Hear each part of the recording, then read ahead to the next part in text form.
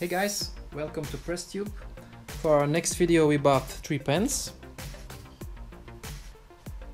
We bought three apples.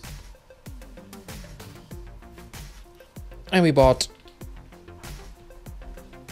three pineapples. And I think you all know how this is going to end.